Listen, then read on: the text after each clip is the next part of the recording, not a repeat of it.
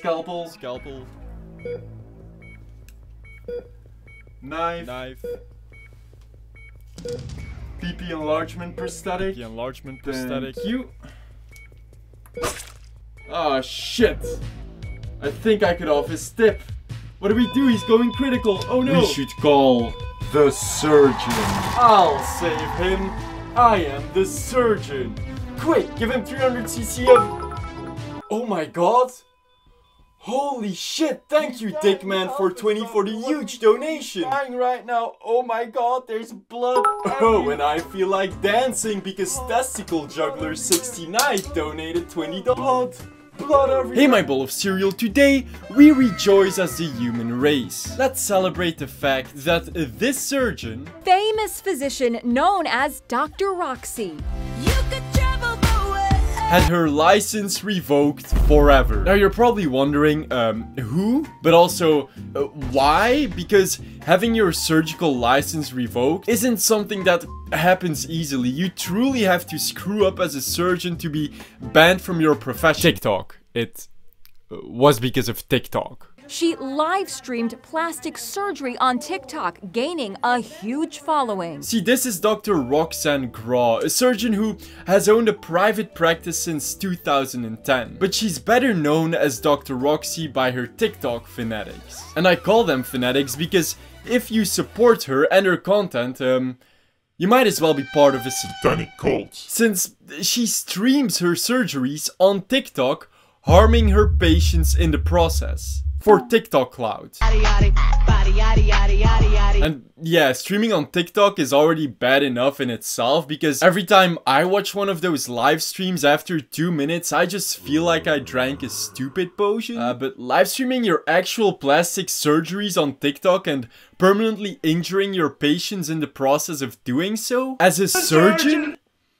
Yeah, that just sounds like a speedrun for earning the Nobel Prize of Evil. And she has been doing this for years with no punishment. Like imagine a doctor is performing surgery on you, digging deep inside of your body, while talking to a live stream and thanking people for donating. Can I get the breast implant? Alright, thanks. Uh, so we put it right here and then we, uh...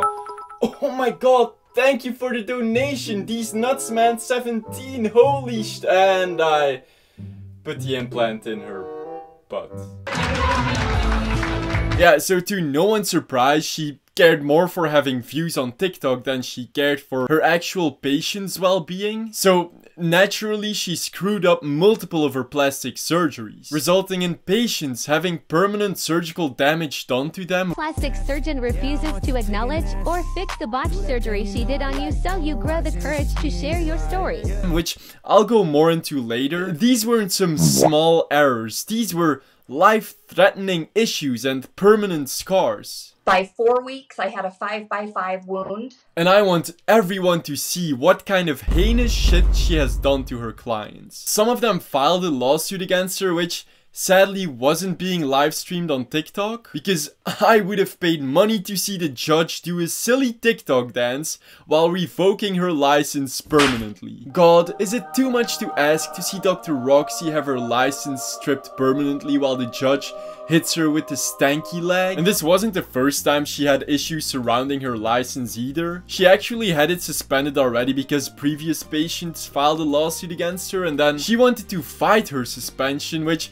funnily enough resulted in it being permanently revoked. She had been battling to have her medical license reinstated after it was suspended in November 2022, but now it's officially been revoked. Dr. Roxy will no longer be Yeah, allowed to baby. practice medicine in That's the what I've been state waiting of for. Ohio That's again. all about. Now, the reason for her having her license stripped wasn't just for doing silly dances and streaming her surgeries on TikTok. It was also done because she was, to no one's surprise, terrible at her job of doing surgery on people. And I don't think I have to explain to anyone why it's so important that a surgeon is good at uh, surgery, you know, the task that they've been training and studying for for like a decade. Because, you know, you're literally risking people's lives. So imagine now, will you? A surgeon who already sucks at her job now spends about 50% of her attention during your surgery doing this for her TikTok audience. This is perfect. She liked to film her surgeries and post them on TikTok. Sometimes even Which, if I saw my surgeon doing this on TikTok, I wouldn't just change surgeons. I would change hospitals. Uh, but that's not what happened. Uh, she didn't lose clients. She instead became way more successful.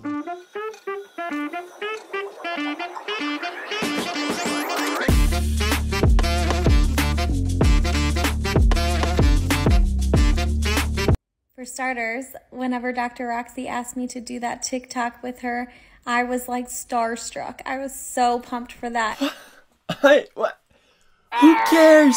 Who who cares that their surgeon is TikTok famous? This is crazy. She is crazy. I can't believe that a mentally sound person would pick a surgeon to perform life-lasting $10,000 surgery on you because you're excited to do a TikTok dance with her. And it's not even a good TikTok. Yeah, so this is beyond stupid, but while this girl didn't have any negative effects from her surgery, luckily, uh, at least three of her patients have. And at least two of them have been posting their journey dealing with the damage done to them on TikTok. Try to share this as much as possible so hopefully more people come forward.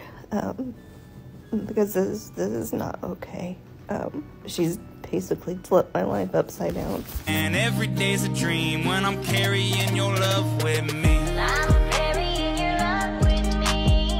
I know I try to keep things light and funny on this channel with the quips of a mental 5-year-old that come out of my mouth, but I do want to say that this is a serious issue and I am glad the victims have been able to let their voices be heard by the Ohio Medical Board, because this yeah, this should never be allowed to happen again. But with the current state of social media fame being many people's top one priority, and uh, surgeons already trying to copy the fame Dr. Roxy was able to obtain on TikTok, I think it's fair to say it'll probably happen again.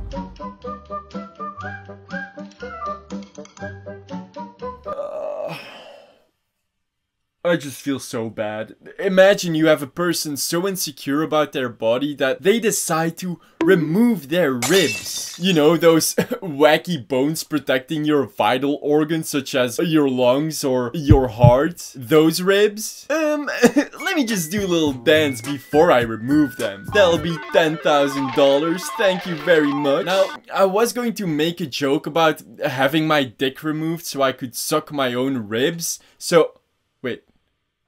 What did I just say? I'm I meant having my ribs removed to suck my own dick. Anyway, I just hate seeing this so much that I don't even want to make a joke about it. Now, sure, you can blame the victims of Dr. Roxy for going to her before doing proper research outside of watching her silly TikTok dance. But she definitely deserves the majority of the blame here. Like, she heavily pressured people on her TikTok to get plastic surgeries by Uh, capitalizing on their insecurities. Hi, it's Dr. Roxy. How do you know if you need a breast lift? I, I am going to tell you about a very important test. It's called the pencil test. Ooh. And all you need is a pencil.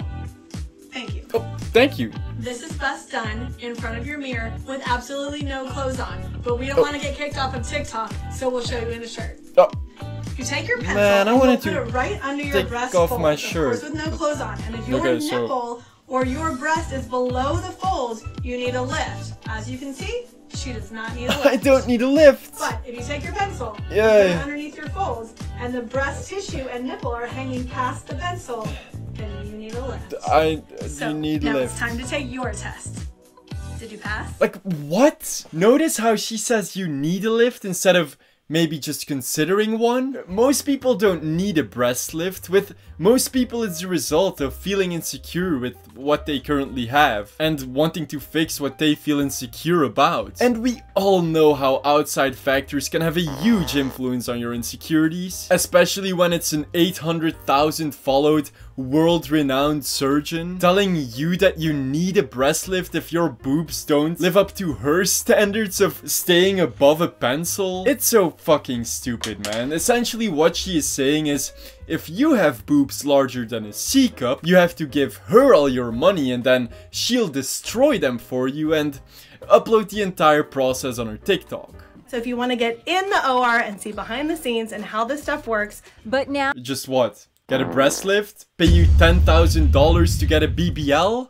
Is that what it's gonna take to meet you? The oh so charitable famous Dr. Roxy? And sometimes I did silly or fun videos. Simply to make people smile in this world, which is often negative and difficult to navigate. Yeah, so sweet. And I would get a BBL since you so childishly peer pressured me into it even though you're a 40 year old surgeon. Um, but these hams? They are thick enough as they are, thank you very much. So for anyone believing Dr. Roxy shouldn't be held accountable for her actions, I think you couldn't be more wrong. Everything she has done for the past few years and the worst of all is that she doesn't show any remorse at all for her actions. Yeah, something funny I've read on this topic, funny in the sense of how does she have the audacity to say something so selfish and out of touch with the entire situation? Is that um instead of apologizing to the victims, uh, she said that stripping her from her license will forever change her life in a negative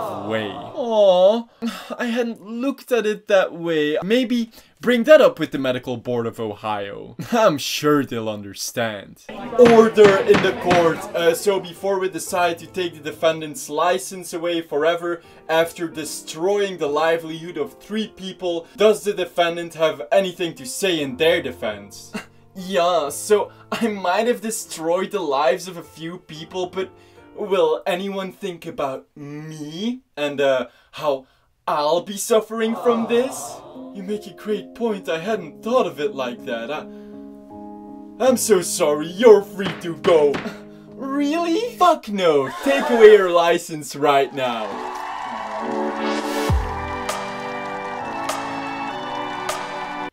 Do hope that people have learned a lesson from this though, that social media isn't an indicator of skill whatsoever. No matter if a person with a high amount of followers tells you that they are good at something, make sure to research properly before making such big decisions so you can feel comfortable after making them. Yeah, this makes me feel comfortable. If I saw my surgeon make TikToks about abusing anesthesia to find out my deepest and darkest secrets, I would instantly sign up for a penis enlargement surgery, uh, just to get the anesthesia. Because I don't need a penis enlargement surgery. Oh, I gotta take this. Uh, hi, doctor. Oh, you can add 5 inches? Yeah, that really helped me out. You're still here, uh... Oh, no, doctor, I was kidding. I already have 10 inches. I don't need the surgery. Um, and you, if you enjoyed this video and you want me to cover any other internet drama or news, please let me know in the comments below, subscribe to my channel and watch some of my other videos to become part of my cereal bowl so I can absorb all of your fibers and nutrients. Doctor, um, so I actually do need the surgery and could you move it up by a week? Yeah, my girlfriend really wants this to happen as fast as possible. Oh,